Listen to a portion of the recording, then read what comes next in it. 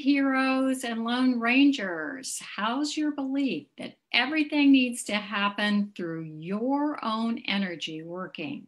Are you feeling drained? Are, are those around you disengaged?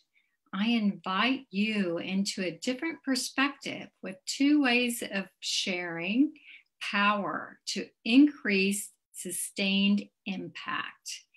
And I did this blog in partnership with a former coaching client, Jim Kokomo, and he um, gave an example of sharing power with others when everyone brings and shares their something.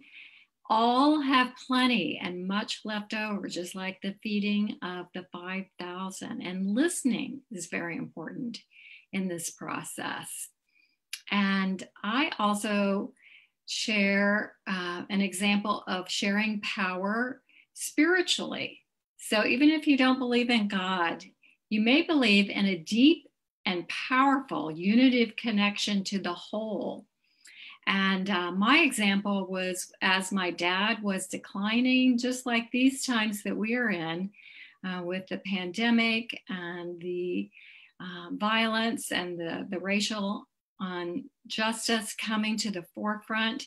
Then there's times of feeling overwhelmed, of sorrow, of anger and yet there were still some some bright spots in my life and times where i woke up and i did have energy and and hope and um, one of those days was starting like i did today uh, one of my culturally competent credentialing mentor coaching groups and, just having that sense of tapping into the spiritual power which i need to remind myself of frequently since I um, tend to be working on my own, living on my own, um, just tapping into that made such a huge difference in in starting that cohort during my dad's uh, decline. And the people that participated said that they felt cradled with safety. They felt